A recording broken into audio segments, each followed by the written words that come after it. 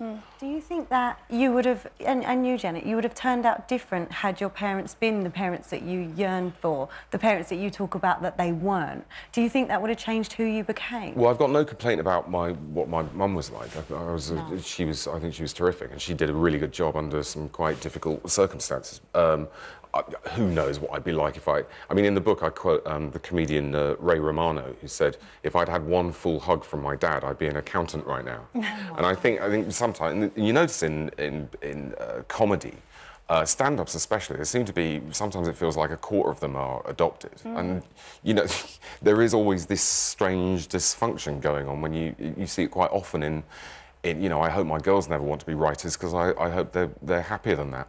I think the other thing that, that with me is when you go, we were talking about it again earlier. I, sa I said to the girls that when I go to school, when I went to school, I wasn't really aware that my home life was a bit weird, to put it mildly, because as someone under 10, you just don't discuss it, do you? You go to school, you keep your head down, you don't want to stand out, you, you know, I look pretty weird. So you don't say, is my mum or dad odd compared yeah. to your mum and dad. well, it's, know, exactly, it? well, it's exactly. completely normal. There's nothing more normal and than when you get to university or college or later on when you're about 18, then you can talk, you can meet normal people, yeah. and you realise that perhaps your background was a bit bizarre.